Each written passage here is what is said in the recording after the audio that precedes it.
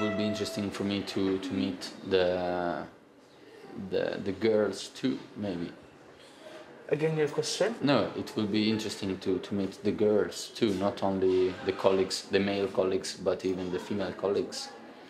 Okay, you can meet them. But No, like, like in the train shift. It will be interesting to, to see how they manage things. Okay. Say it to the teaching assistant or the Dr. Anwar, and they will uh, communicate with uh, the girls to, to go to see them. If you want.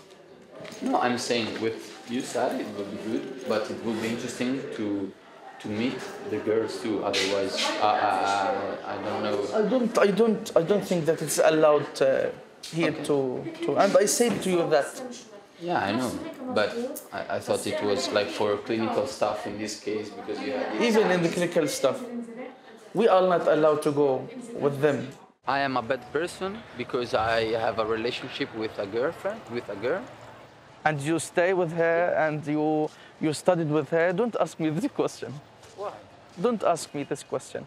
Because I don't, For you, it's it's it's it's not good. it's not that good. I have a girlfriend. And I, I always say to you, sometimes some differences are not important to deal with. So for you, so it's not I know that you are different from me, and I, I know that I'm different from you. But sometimes we are not looking at these differences because they are not important. Yeah, just- you can live freely, I- I and I can live freely. Because if we discuss it, maybe we have uh, see a gaps that are not important to Yeah. open it. I was just so it's, I it's was just concerned and scared that you were you were judging me because I have a for girlfriend. sure not. This, just this. For sure not. And say because maybe you were thinking that I'm a bad person. No, because because a- we know that it is normal in your life to have girl- girlfriend. I was just worried. So you are that, not bad That you are the way you love, me in a but- bad way because I have a girlfriend. No, Just no, being being uh, relaxed from that.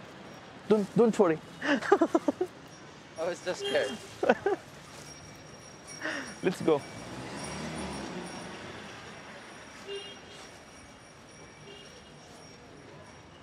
Eppure una ragazza l'ho conosciuta.